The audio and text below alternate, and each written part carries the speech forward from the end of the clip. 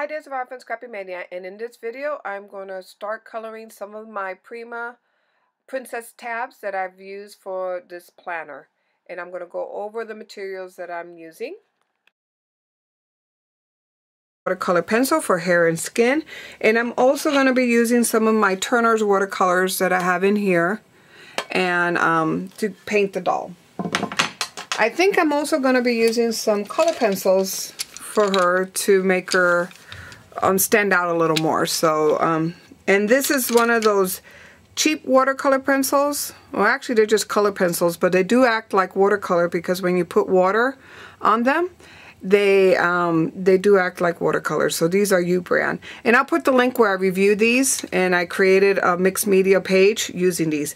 Now my hands are very, I've been using Archival ink and whenever I use Archival ink it just goes all over the place.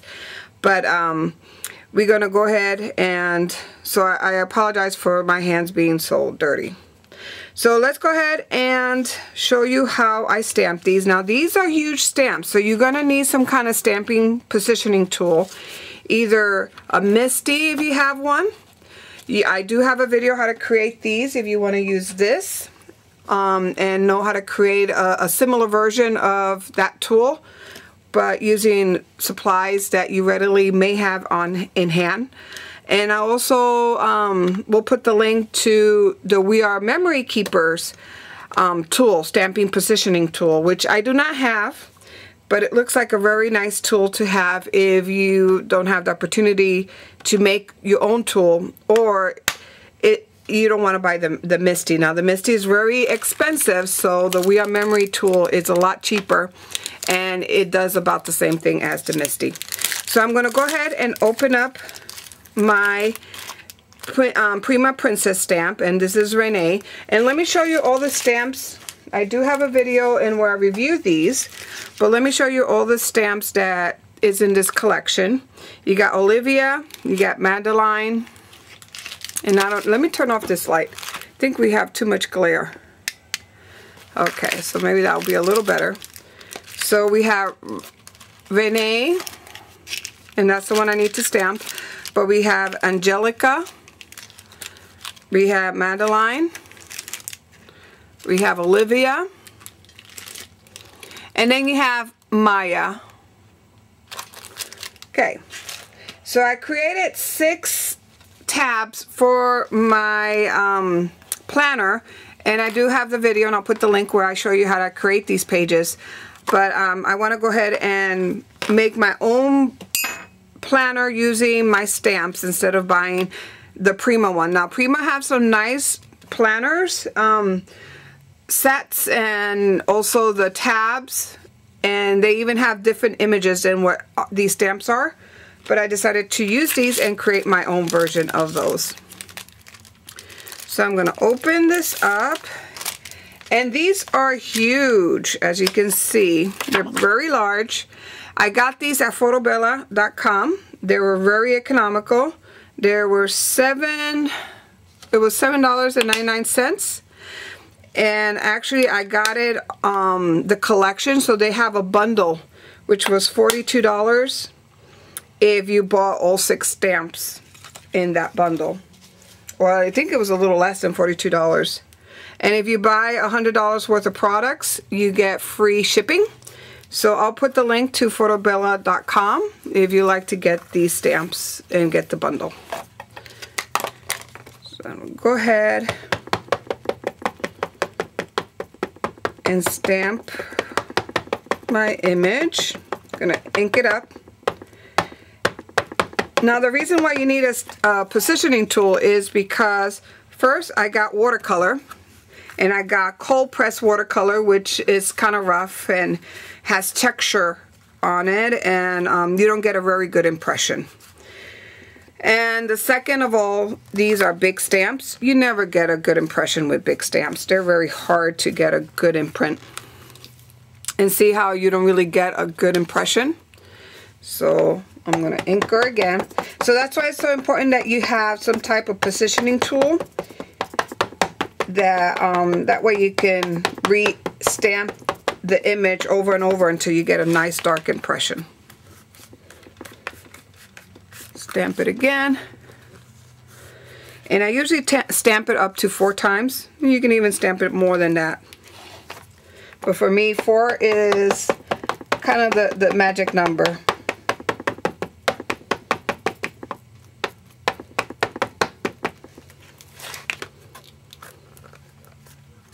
And because I want a really good impression on the face area, I concentrate all the pressure around the face than any of the other areas. And then one more.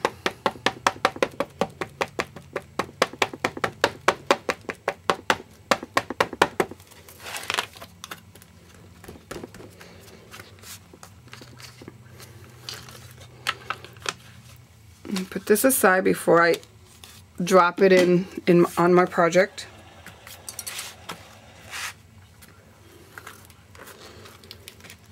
And I think I got a nice impression there.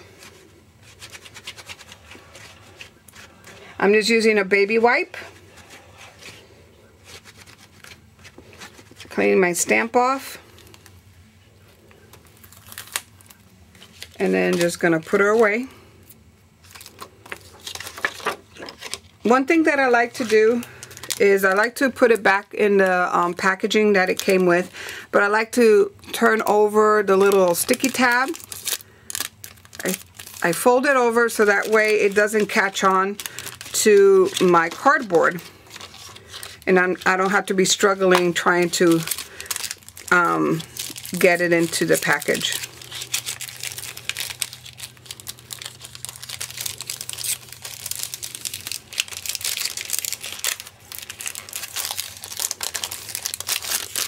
And then you can stir all of these like that together.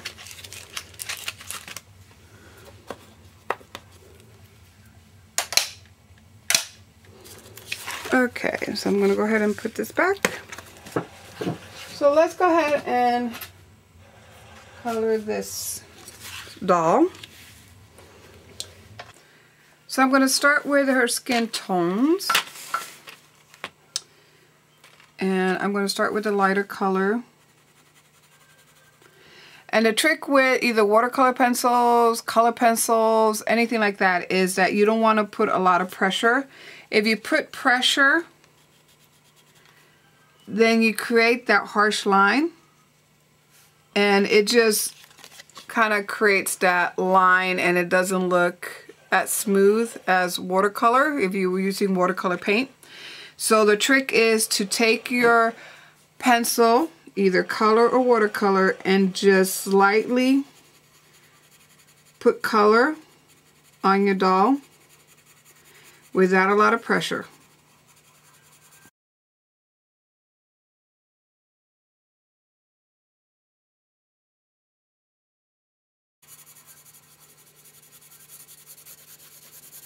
And it's so important that you use Archival ink because um, you don't want to use any ink that will react with water. And Archival ink is meant to be permanent and will not react with water.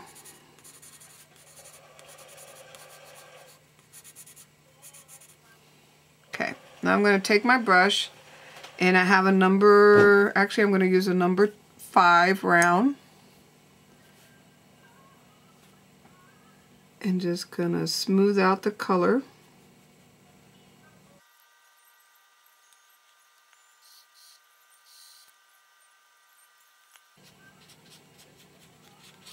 Okay, so now that I gave her a, a kind of wash of a nice neutral color, I'm going to go over some of the areas to put some shadow. Especially the stamp already have areas that they have placed shadows.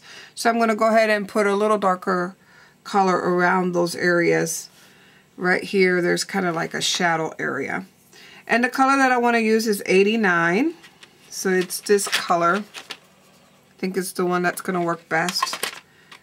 So get that. And instead of, of putting it directly on the paper, I'm going to wet my brush and just going to tap the tip and just going to incorporate it ever so slightly on here because we don't want to put a lot. We just want to create a nice little shadow.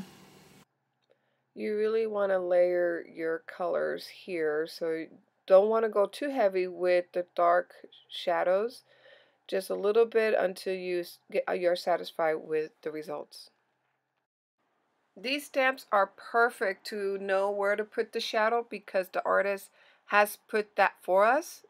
And what I'm doing is just make accenting those areas that it's already there that the artist has placed the different shadows on this doll. So let me show you what happens. So see how that, that looks very harsh right there. But looks what happens when you take a little bit of water, take the excess water out, dab it off, and then go with your brush and blend it in. See how that blends? So that's what we want to do. We don't want to have harsh lines. So if you by accident you do create a harsh line, just take a little bit of water on your paintbrush. Okay, so rinse it out, rinse your paintbrush out, take a little bit of water, dab off the excess, and just blend it in. So I keep adding the shadows until I'm satisfied with how my doll looks. I want it to look more um, three-dimensional than just a flat image. And your highlights and lowlights helps do that. Okay. I think I'm done with that color. And let's see if I need to do a mid tone or darker tone. So I put my lightest tone, then my knit mid tone, and then in some areas I'm going to put this dark um, tone. This is 101. Like more right here.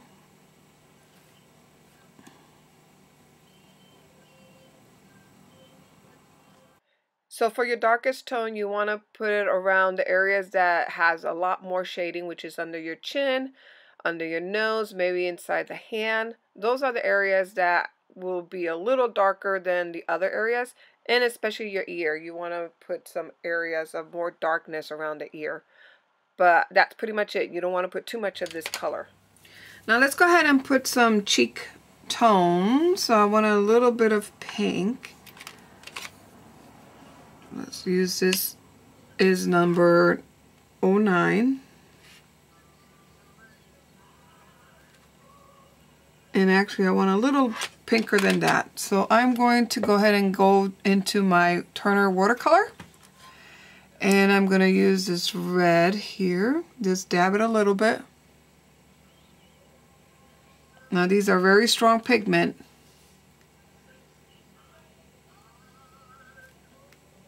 So we need to put a little dab on there, get most of the water out, and just blend it. Get more of the water out and keep blending. Because you don't want a harsh color.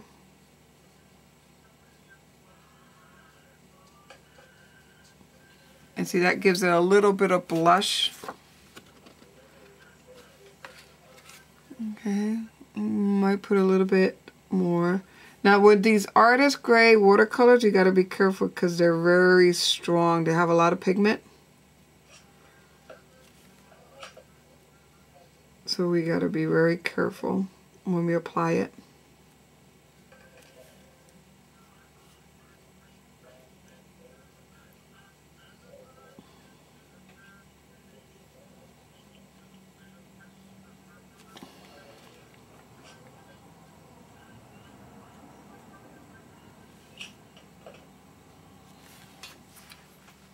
Okay.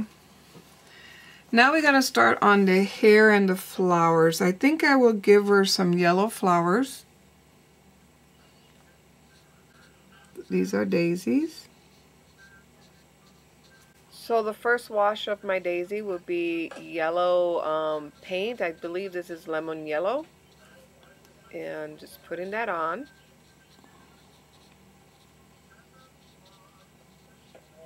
And while it's still wet, what I'm going to do is I'm going to get some of the brown.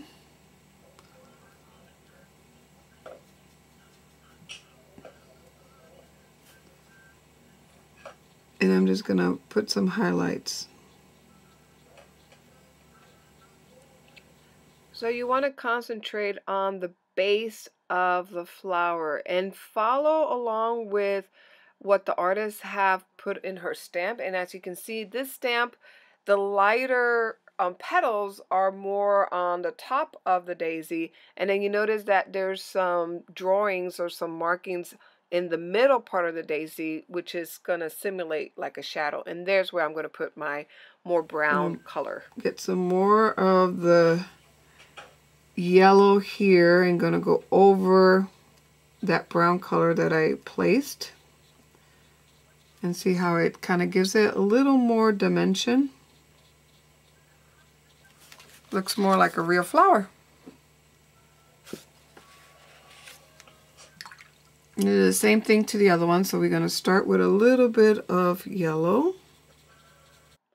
So I'm going to do the same thing through all these daisies. I'm just going to do one coat or wash, a light wash of yellow, lemon yellow. And then I'm going to follow that with some brown on the base of the flowers.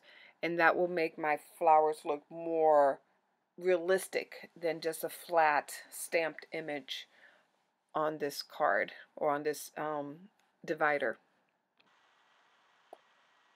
So I'm just dabbing in some more darker brownish color on the center of each of these daisies. Then I'm going over each of my leaf with a lighter green. And then I'm going over each of these roses. I think they're roses. I'm not sure what kind of flowers these are. They're very pretty, but I'm not sure what kind of flowers. But I'm. I'm putting a little bit of red, and actually it's more a wash of red, and then over that I just drop some more concentrated um, red color in the center of each of these flowers. And then I realized there were some more daisies that I, I did not see, so I'm finishing those up. And then I'm finishing up the leaves by dropping in a darker shade of green on the um, bases of each of the leaves. And that makes it look more three-dimensional. So then I'm going to go over, actually another daisy that I forgot to color. And then I'm going to go over her hair. So I'm going to um, use some more reddish brown. So I do take some brown. I put a little bit of red and make like a reddish brown. And I'm putting that on her hair. And then I'm coloring a, a little bit of um, her, her wing with some blue, some yellow. And then I'm finishing the final details, which are her eyes and her lips.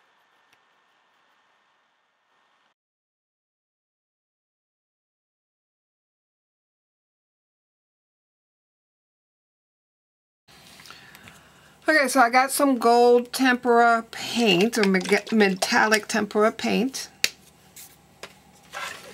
Put a little bit on my craft mat.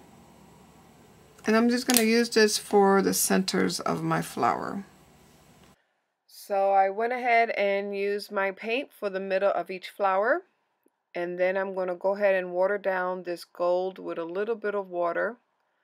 And I'm going to just splatter it around my painting. And then I'm going to splatter some red um, watercolor. So I hope you liked this video and thank you for watching. Bye now.